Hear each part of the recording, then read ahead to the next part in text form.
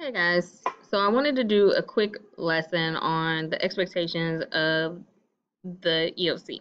And so I'm going to show you the rubrics, and I'm sure you see them in your notebooks, but I want to go over them so that we could talk about how you should answer um, these prompts on the test. Um, I'm going to give you guys an opportunity to do a rewrite on your two pretests, and therefore I'm not going to give you the direct responses um, to the prompts that I gave each class. And I will say each class got different responses. And the reason why I'm not going to do that is because I want you to be able to apply what I'm telling you here and apply the rewrites and then get a better score. Okay, so um, the expectation for B, I didn't do the grammar part and the spelling because I feel like that's something we can work on individually one-on-one. Um, and also it's something that I expect you guys to be working on period throughout your education here.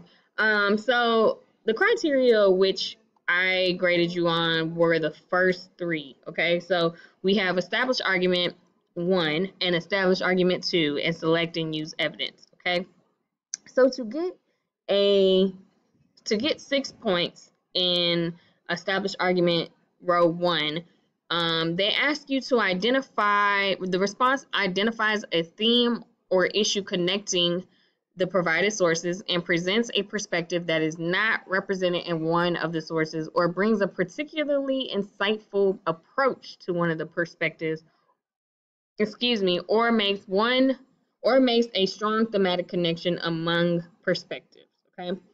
So what it's asking you to do is come up with a thematic link um, but it had to be something that was very insightful or doesn't even reference what was in the quotes.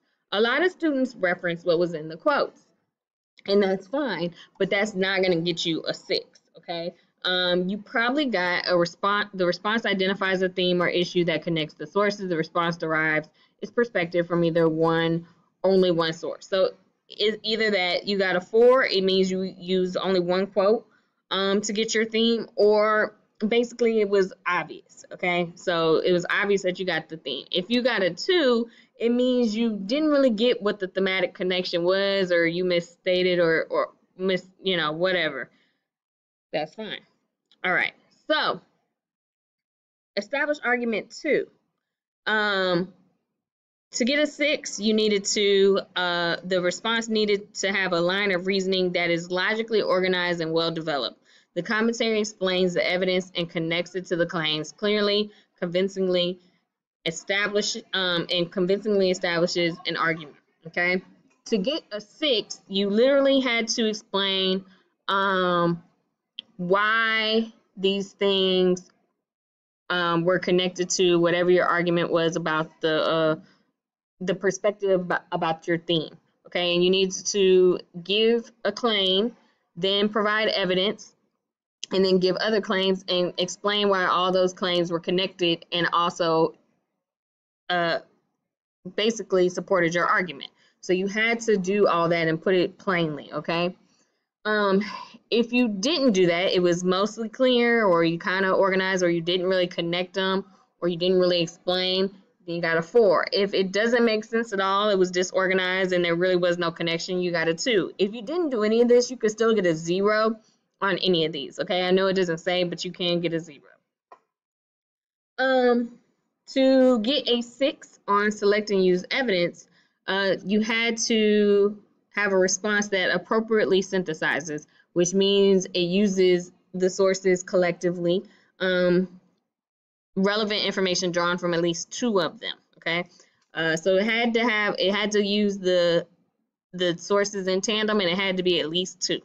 Um, and it develops and supports a strong argument. So again, you had to have those things connected and you had to have a claim and use this quotes as evidence to support your argument, okay?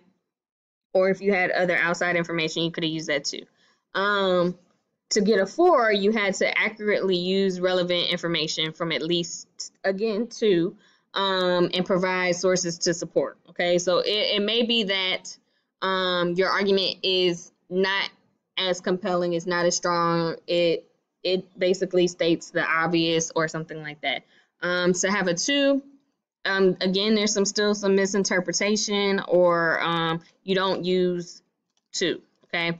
And again, you can't get a zero, all right? So let's look at the little example I typed up here. So remember the pretest B, here's the um, directions. Um, the following four quotes, excuse me, meant to say quotes, uh, present multiple perspectives on the same issue or topic. Um, read the sources carefully, focusing on both the thematic connection between them and the different perspectives each represents. Then write logic, a, a logically organized and well-reasoned argument that presents your own perspective on the thematic link you identify. You must incorporate at least two of the quotes provided. You may also use the other provided sources or draw upon your own knowledge. In your response, refer to the provided sources as source A, source B, source C, or source D, or by the author's names. Okay, so I took four quotes, and it's a reader lives a thousand lives before he dies. Um, said Jojen. The man who never reads lives only one. The second quote says, "The more you that you read, the more things will you excuse me, guys. The more that you read, the more things you will know, and the more that you learn, the more places you'll go." From Dr. Seuss. Um, the other one was George R. R. Martin. Um, the third quote: do, "Do not read as children do to amuse yourself." Or like the ambitious for the purpose of instruction. No, read in order to live. Fourth quote You think your pain and your heartbreak are unprecedented in the history of the world, but then you read. It was books that taught me that the things that tormented me the most were the very things that connected me with all the people who were alive and who had ever been alive. Okay, so we can come up with general themes. I could easily say it has something to do with reading, but to get something like a six, I have to come up with something insightful. So what could I come up with? What would be insightful? Well, I could say something like, yeah, reading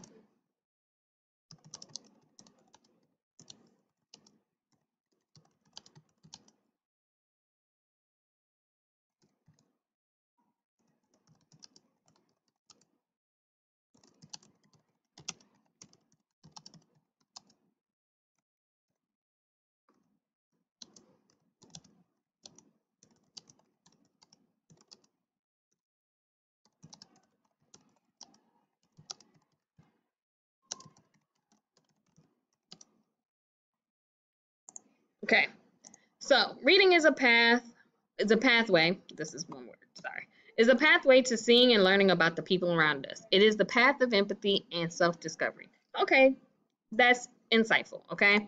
Now I do talk about reading, um, and technically a reader could give me a four, but I think it is something that um, I've added a little bit of insight because I've talked about being a path to learning about people and um, empathy and self-discovery, okay? Now, um, why do I say that? Well, I could pick any of these quotes. I could say um, James Baldwin's quote is a good example of self discovery. I can say um, these three quotes here are more about learning about people. Um, then I could say um, this one here, the first one, J, uh, J, G, I'm sorry, I always mess up his name, even though I love Game of Thrones. George R. R. Martin also coincidentally, he also wrote a, a, old series that I used to love, Beauty and the Beast. But anyway, that's neither here nor there. Um, a reader lives a thousand lives, okay, and that could be something about self-discovery as well. Okay, so those are things I can do. Okay, and how do I explain that? I explain how those things address those parts of my thesis. So I can say James Baldwin's quote answers self-discovery because you think about yourself as this this entity that has experienced everything nobody else has and then you start to realize you're just a small part of the world and that's self-discovery. Um, george r r. Martin when he says you live a thousand lives well when you experience different lives you you start to think of things differently and again that's self-discovery And that also, when you live a thousand lives, that creates empathy because you're in someone else's shoes. So that is me explaining and giving a line of reasoning and logic and evidence that ties in my reasoning. Okay. Um,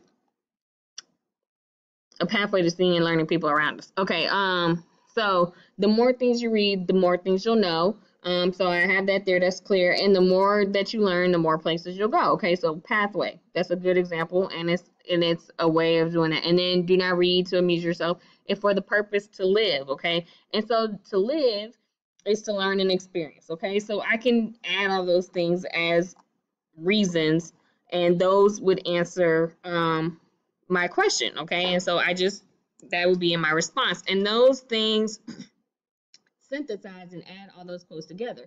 So I could get easily an 18 doing that. Now, if I have perfect grammar, that's another, um, I believe, six points or two points. So I think it's 20.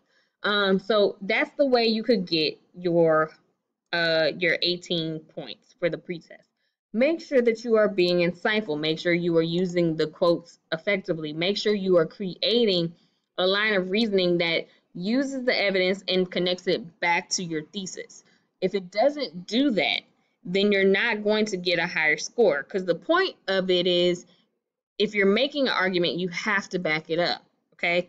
Um, another thing I noticed you guys are always talking about if you agree or disagree with quotes. Nowhere is that important. It really just wants you to do what it says. It wants you to use the quotes, find the thematic connection, um, give your perspective on that thematic connection, and then use the quotes to support your your argument, okay, about that perspective and the thematic link, okay? And those are things that you guys can do, and those are things that we're working on. So be sure that you're doing that. Now, if you need individual help with it, please come by during tutorials, and I will work with you one-on-one, -on -one, okay? Thank you.